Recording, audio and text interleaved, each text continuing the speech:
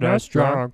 You wouldn't think a tennis game would age well, considering all the variables you'd have to get right. The physics behind how the ball behaves, considering spin and velocity, the movements of the players. It must have been a really tricky process for the developers, but they did a hell of a job with Super Tennis. Probably the only tennis game on the Super Nintendo that's still worth playing today.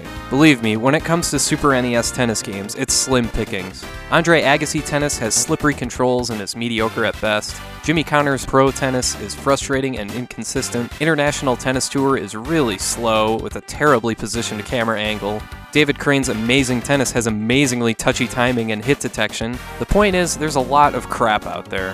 What sets Super Tennis apart first and foremost is the camera angle. The fixed overhead view allows you to see anything and everything. Most importantly though, is that the physics engine behaves consistently. So when you have a shot in mind you want to execute, like say I want to hit a hard shot with topspin in the corner there to get it past the opponent, you can do it with regularity as long as you've got enough practice. That's one caveat I have to mention though. This isn't exactly a pick up and play game. It does take a while to get good. Not only does Super Tennis have a decent physics engine that behaves consistently, but it also takes surfaces into consideration. The ball will behave differently on grass, clay, or hard court. The game also has a variety of different players that all have different playing styles, not to mention hairstyles.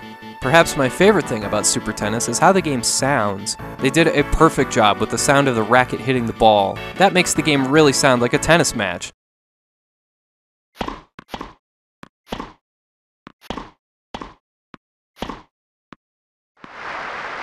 Okay, I know, that might be a bit of a boring detail to point out, but hey, I'm a big sound guy, and I love the sound in this game. And it actually sounds somewhat realistic to this day.